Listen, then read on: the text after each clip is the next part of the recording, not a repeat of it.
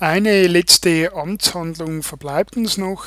Im mittleren Text wird verlangt, dass der Titel mit einer Rahmenlinie unten versehen sein soll. Generell ist die Regel, dass man Texte nie unterstreicht.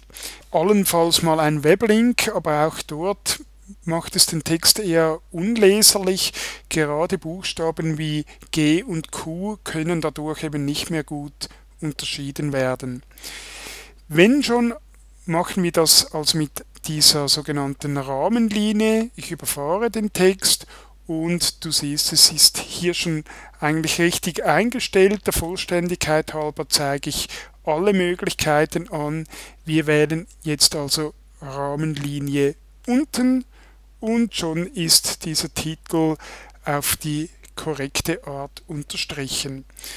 Allenfalls ist jetzt diese Linie etwas nahe beim Text. Das können wir auch noch ändern, indem wir hier auf die Optionen gehen, Rahmen und Schattierung und dann bei den Optionen den unteren Abstand zum Beispiel auf drei Punkte setzen und jetzt wirkt es deutlich eleganter.